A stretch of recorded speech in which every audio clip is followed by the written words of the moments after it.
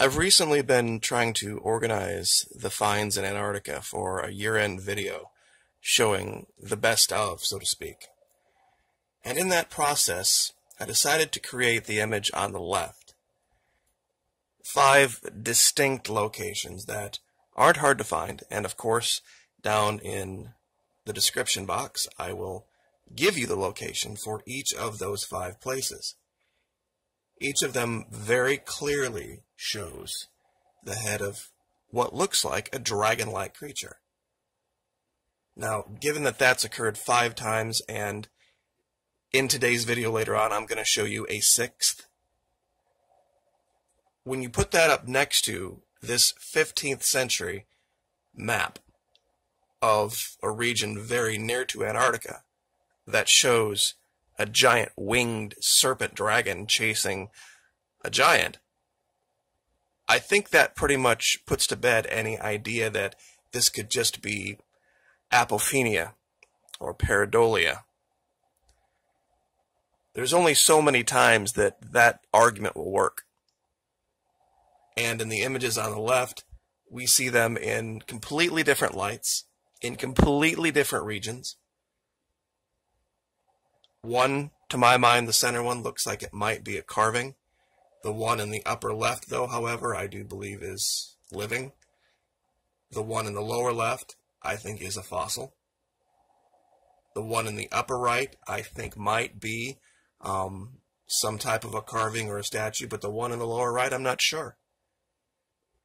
But I do know what each of them stands for, and when I show you the sixth one today, I think it's probably going to, even the most skeptical naysayer, is going to have to either make the admission that maybe history isn't what we believe it is, or something very, very different is happening in Antarctica. Especially on the right, I'm not sure how anyone could look at that map and see that image and mistake it for anything other than what we've found the two things correlate ancient history and what we're looking at. And this might be one of those things that uh, I love the naysayers that talk about how they want to disprove NASA, how they can't um, trust NASA because of all of the evidence of their lies. All of the evidence of their lies are the result of looking at NASA footage. Think about that for a minute. Debunking NASA by using NASA footage, but then coming to my videos and saying that because I'm using Google Earth Pro, the imagery can't be trusted. It's it's hilarious. It really is the uh, the lack of logic there. So, if I could have one legacy for this channel, though, it wouldn't be the things I found. It would be the things that people who came to my channel and shared with me their finds. And in the future, all of the people that will take the time to go look at this. That will be the true legacy of this. People looking for things that I've never met. I don't know who they are. Who knows? Might who might see what thing in the future, and then simply because of the attention to detail on this, that they might be able to um, reveal something that might not have been. Anyway, without any further delay, though.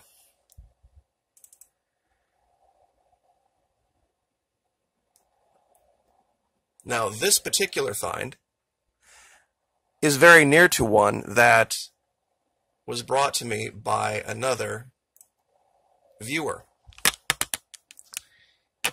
The viewer goes by the name of Nevada Geologist, I believe.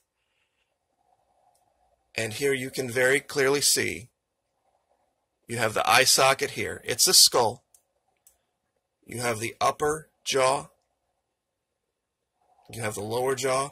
And once again, looking closely, you can even see the teeth that remain in this skull. Now, the, the pin location that Nevada geologist left was kind of general. There's a lot of things in this region. I'm not sure exactly what the person was sharing, but let me tell you what I think might be what was closest to the pin. I'll put it that way. looking very closely right here at this hole, this cave in the ice, we see something coming out of the water. Now, the first thing I know a lot of people will say, because it was my first thought, oh, look, somebody caught an image of a leopard seal. Now, leopard seals are big, nasty, mean aquatic creatures. Don't get me wrong, you would not want to meet one. It would be your end. But here's the problem with that. Using the ruler, when we measure this particular creature, and this is, of course, using the, the path feature so we can measure curved, from this thing's nose down to what we can see its tail is 50 feet. 15 meters. That is orders of magnitude far larger than any leopard seal that's ever been found. If I remember right, I think there may be 8 to 10 feet, maybe a little bit bigger. This thing is five times that size.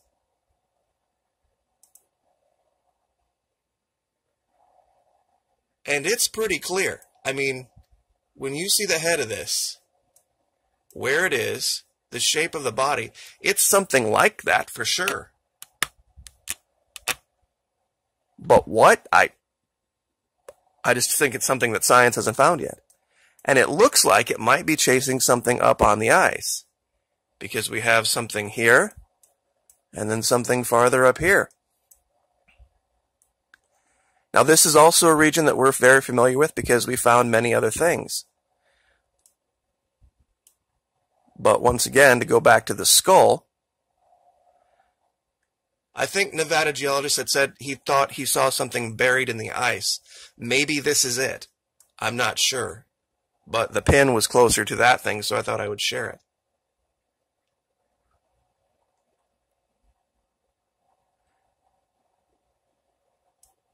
This is the region where I'm not sure if any of you remember.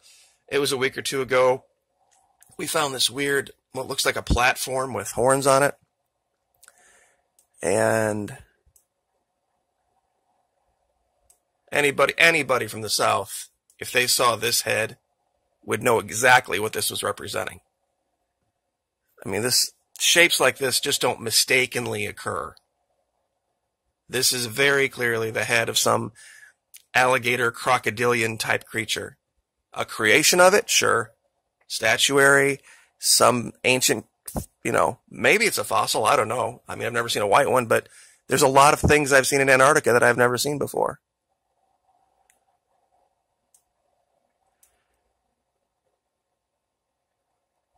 And also here,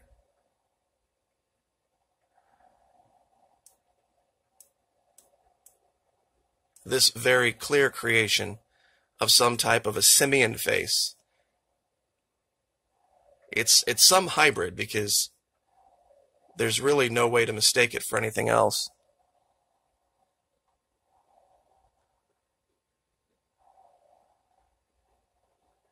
So there's also one other thing I would like to cover at the end of this video. Yesterday, third phase of moon, pardon me, third phase of moon, put out a video. They had found something and it is one of the best finds I've ever seen. It's way up here on the Bridgeman Islands, about as close to South America as you can get. Now, it's in historical imagery, which is once again one of the best tools that you can use.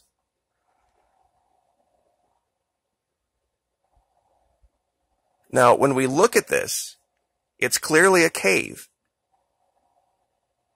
right off the coast.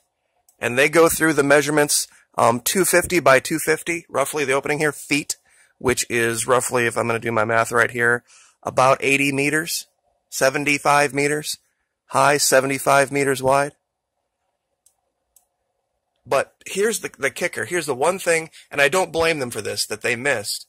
Now, this is, of course, 2019, 2010. They imaged this cave three times in a very short span. This is February 10, 2007. Now this is January 20, 2007. You can't see anything. This is January 18th, 2007. So January 18, January 20, and February 10th. Now, what they kind of missed here was they were using primarily the January 18 image. Looking closely. A couple more scrolls in, and if you look here to the left, what looks like just a patch of snow isn't a patch of snow. Because if you go forward to the February image, you can very clearly see that this cave is occupied by a dragon. You can see the lower jaw here, the mouth. You can see the upper jaw. You can see the horn. Right behind the eyes, right here.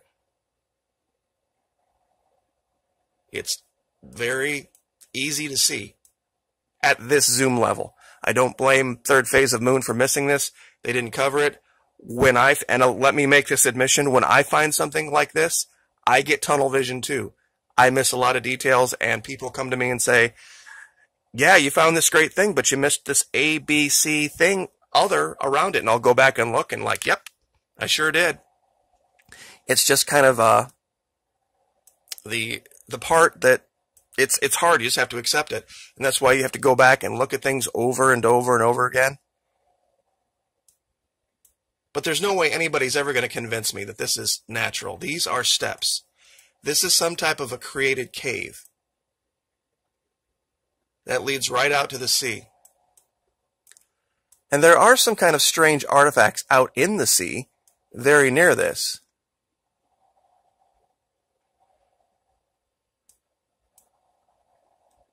Not really sure what this is. Um, but something's definitely under the waves right there.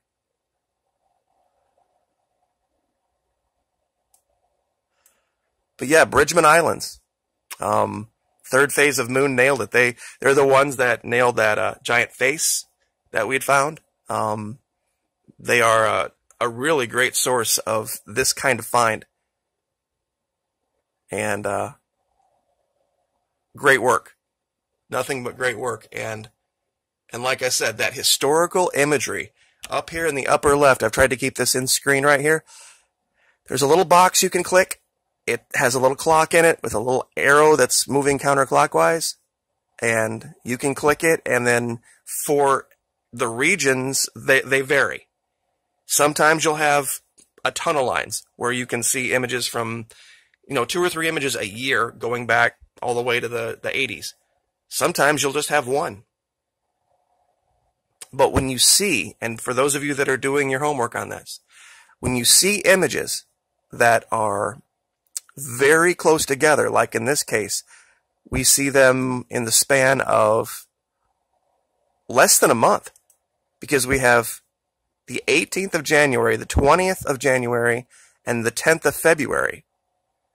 So that's what, 30, 23 days they high-res imaged this area three times in 23 days.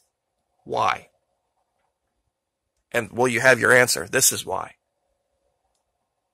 So I guess we could call this yet even a seventh dragon because I really don't know how anyone can can deny this. Because you don't see this anywhere else. And I'll bring this up just to leave with it just so people can understand how many times we found this and in how many different places. It's completely undeniable now. The reason they're hiding it is, I think, starting to become much more apparent. There is evidence of an ancient civilization down here that will rewrite history and it will reveal things that the powers that be don't want revealed. Not to people like you and me, because it would take away their ability to manipulate us. It would give us the ability to think for ourselves again. And when governments lose that ability, that's when things get bad.